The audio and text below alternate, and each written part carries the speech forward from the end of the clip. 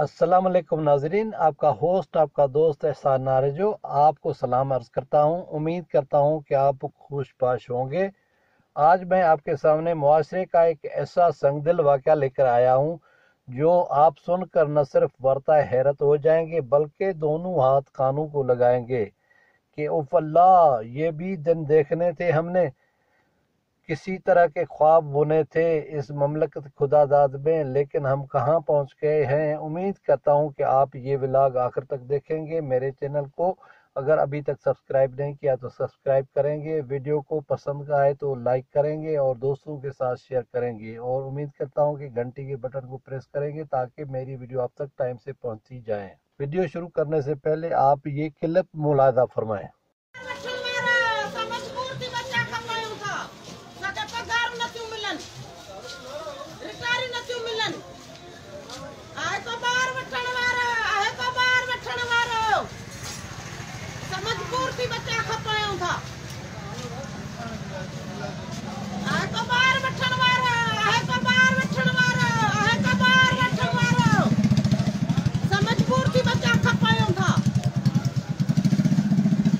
हाँ ये खातून कोई आलू टमाटर बेचने का होका नहीं दे रही, नहीं किसी सियासी पार्टी का नारा लगा रही है और न ही किसी दरबार पे हाजिरी देने जा रही है।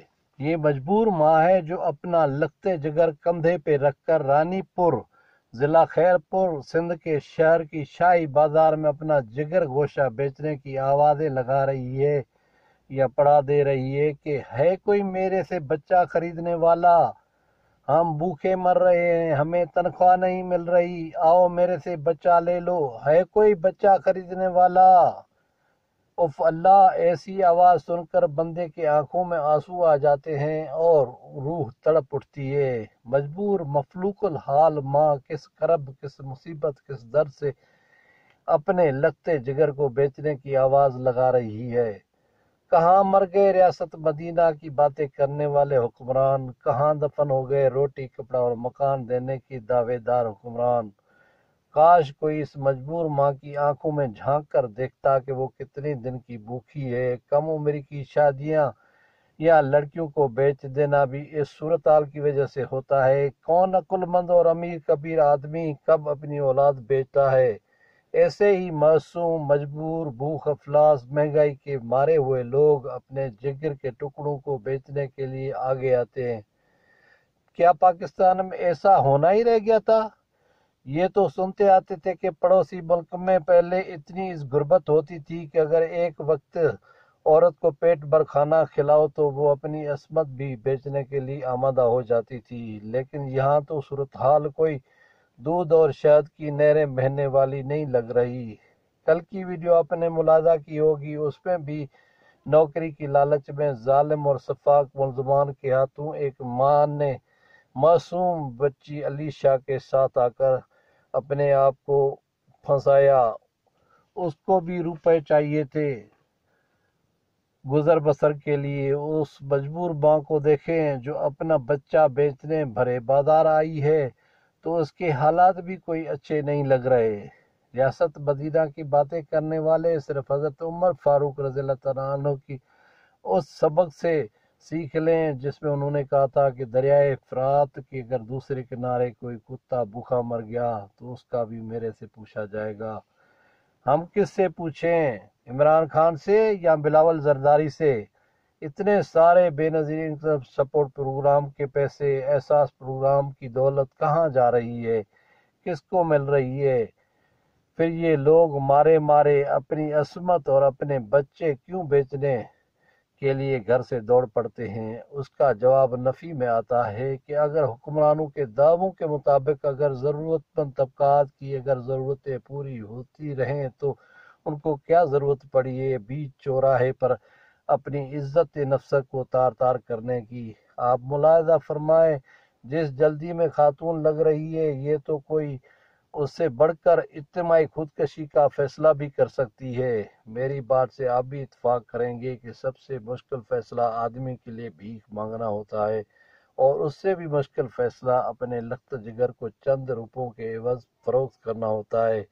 ये मजबूर लोग खून बेचते हैं, गुर्दे बेचते हैं, इंसानी अजा बेच नन्हे मुन्ने बच्चे बेचते हैं। बड़ा करबनाक मंजर है कि एक समझदार माँ बिल आखिर क्यों अपने बच्चे को फरोख करने के लिए शाही बाज़ार पहुँची? क्या किसी हुक्मरान, वज़ीर, बशीर या इलाके के मंतखब एम एन ए या एम पी ए में अखलाकी ज़रूरत है कि उस खातून से मिले और उसका मसला मालूम करे? आपने खातून की आवाज़ में दर्द भरी दास्तान सुनी होगी कि हमें तनख्वाहें नहीं मिल रही। जी हाँ ये सैनिटरी वर्कर हैं, टाउन कमेटी रानीपुर के, जो शहर की गिलाजत गंदगी को साफ़ करते हैं, जो अरसा दराज से तनख्वाहों से महरूम है, और इलाके का असिस्टेंट कमिश्नर, तहसीलदार और एडमिनिस्ट्रेटर, उनको रोज़ झूठे वादे दिलाता है कि आपको तनख्वाह मिल रही है, आपको तनख्वाह मिल रही है, लेकिन उनको कोई तनख्वाह नहीं मिलती। क्या उनके घरों में फाका कशी की सूरत नहीं है?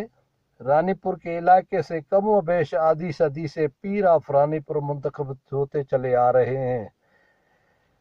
मुंतखब होकर कराची और इस्लामाबाद की ठंडी ठंडी हवाओं में महलात में जा बैठते हैं और मुड़कर पाँच साल तक अपने इलाके की न खैर खबर लेते हैं, न कोई काम करते हैं, लेकिन मजाल है कि उन्होंने कभी आवाम की खिदमत के लिए कोई वक्त निकाला हो। ऐसे दर्दनाक मनाजर खुशहाल पाकिस्तान के तो नहीं हो सकते।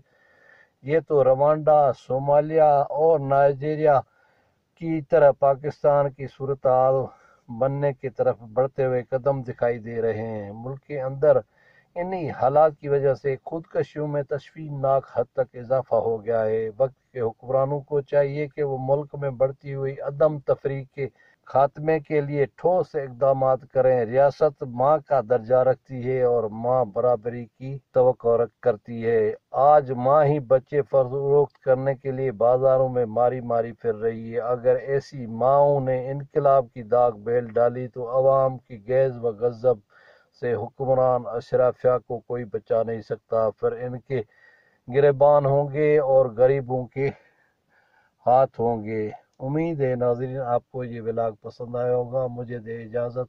फ़ी अमान अल्लाह